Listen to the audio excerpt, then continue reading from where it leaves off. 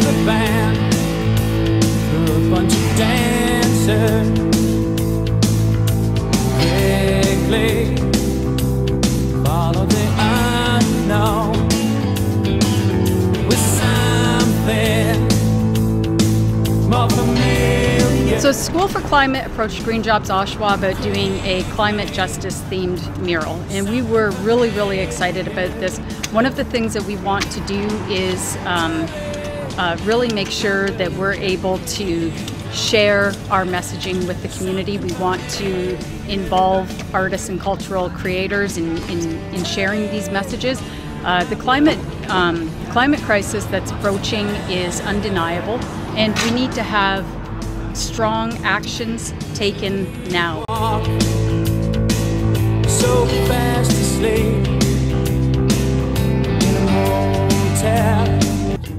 Well, what I see happening here is, is, is I think this is the for, for everyone in Oshawa to come by and visit this and look at it and, and see the opportunity here. Well, our Delivering Community Power campaign really launches on electric vehicles for Canada Post.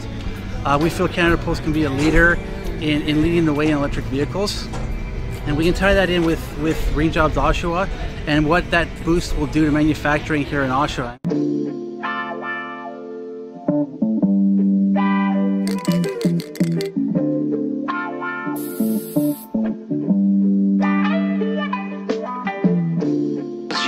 Pesquisas que comprovam o aquecimento global. This is the most urgent of times. mundo capitalista tenta there's a huge impact on my art where I came from and, and what I went through.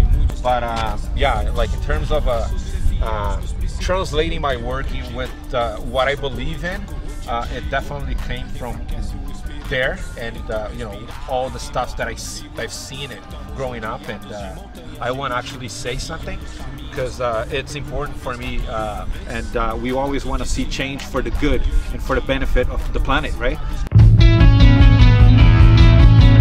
This is a labor city, it's a manufacturing city, and we have so much productive capacity uh, that is going unused, and that could be used to not only create the technologies we need to respond to the climate crisis, but provide really dignified, meaningful work for people and address some of the issues with poverty and inequality that we have in this city.